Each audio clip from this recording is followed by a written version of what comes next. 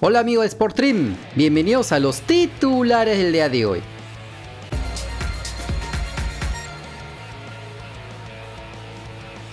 Por el partido de la primera ronda de la Copa de España, el Celta de Vigo de Renato Tapia goleó por 6 a 1 en su visita al Club Deportivo Algar de la quinta división.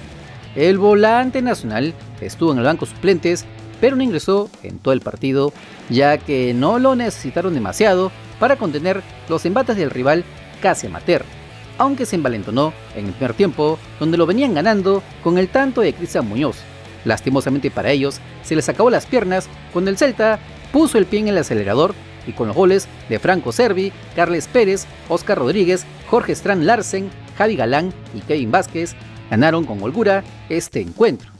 Ahora el equipo Balaídos entrará en un pequeño receso hasta diciembre, donde el 31 visitarán al Sevilla por la Liga Santander. Por la jornada 13 de la Primera Liga de Portugal, el Marítimo de Persiliza perdió por la mínima diferencia en su visita al Vitoria Guimaraes. El delantero nacional no fue convocado para este encuentro, ya que no entrenó dos días con su equipo por un cuadro gripal aunque ya se encontraría recuperado para venir a la selección peruana. La cosa es que su club lo necesitó demasiado, ya que por más que tuvieron algunas chances para abrir el marcador en el primer tiempo, con el tanto de Thiago Silva, a los 70 minutos de juego, el equipo local se quedó con la victoria.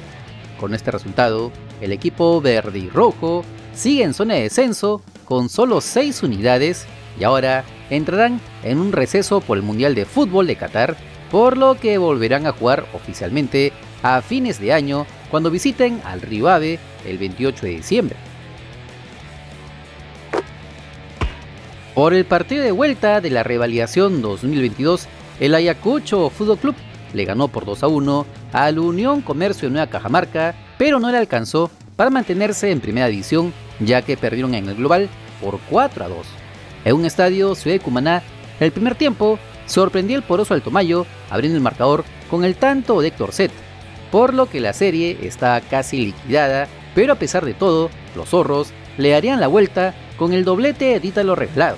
De esta manera, el equipo de San Martín vuelve a la primera división luego de su descenso en el 2019, mientras que los ayacuchanos deberían jugar la Liga 2 en teoría el próximo año.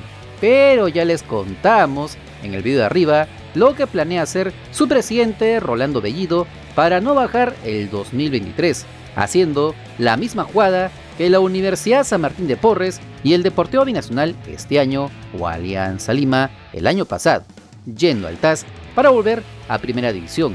Así lo informó el corresponsal de Gol Perú, Oscar Capuñay. La cosa es que habrá más tela por cortar en este descenso del fútbol peruano que cada vez da más vergüenza ajena. Y tal como se los avisamos en un video anterior, el Sporting Sal anunció oficialmente la recesión de contrato de su gerente deportivo, el español Juan José Luque. El ex jugador ibérico llegó a la tienda cervecera en enero del 2020 y logró el título nacional en esa temporada.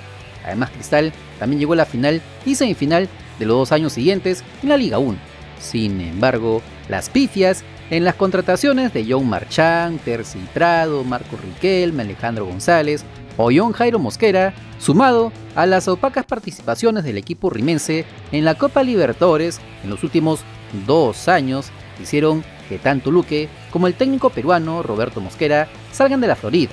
Ahora, con el club cervecero en plena purga de su equipo, se espera la llegada del entrenador brasileño Thiago Núñez, que sería anunciado la siguiente semana para que empiecen a confirmarse los fichajes extranjeros, donde se vocea de varios jugadores de su país natal que reforzarían al equipo celeste de cara a la Liga 1 y la fase 2 de la Copa Libertadores del 2023. Y yendo a los que se quedan, el club Universitario de Deportes anunció oficialmente lo que les avisamos que ya estaba decretado, la renovación del arquero nacional José Carvalho, tal como pasó con Jorge Murrugarra y Alexander Zúcar, otro futbolista que continuará en el equipo crema es el portero nacional por un año más.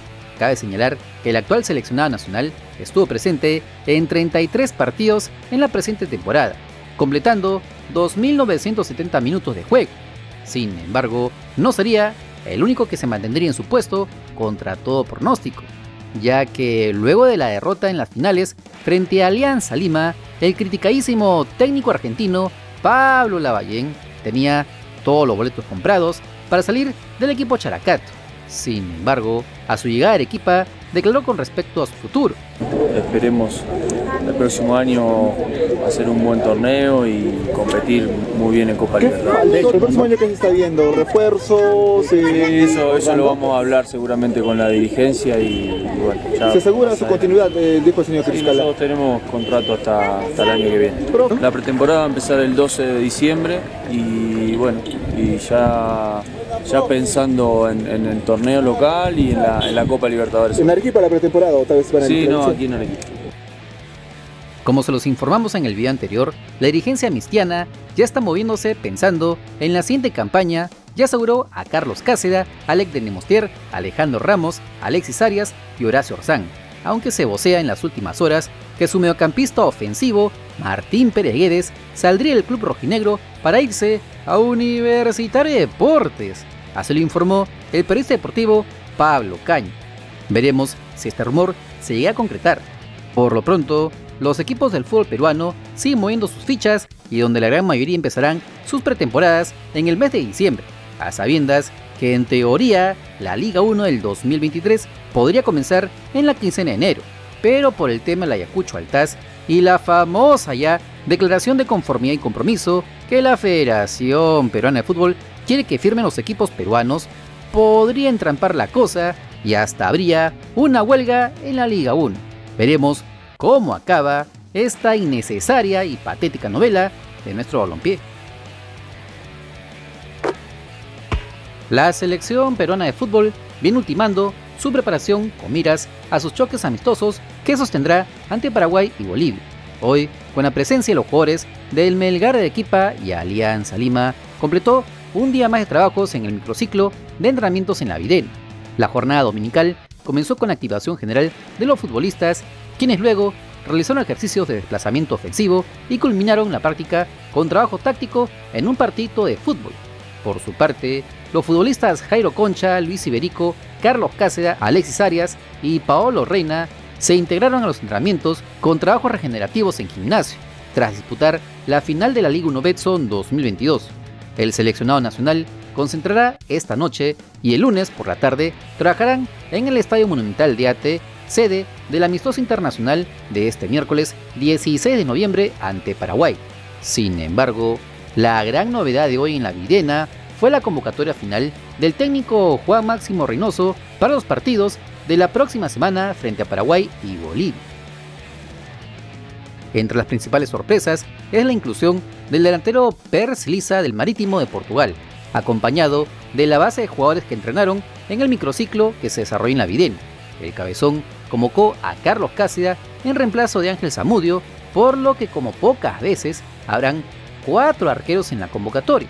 También llamó la atención la inclusión de Roberto Villamarín en vez de, por ejemplo, Alejandro Ramos y Carlos Sasquez por Alec de Nemosier, que no le alcanzó la buena campaña sudamericana o prácticamente todo el año con el Melgar. No, irá Carlos Sasquez. Increíble. Otra sorpresa fue la inclusión de José Rivera y Matías Zúcar del Carlos Manucci, aunque también hay cierta polémica por la convocatoria de Alexander Zúcar. La lista completa es la que sale en pantalla. Pero, ¿tú qué piensas? ¿Te gusta este llamado o a quién sacarías? Y sobre todo, ¿a quién llamarías? Ya sabes que los comentarios son todos tuyos.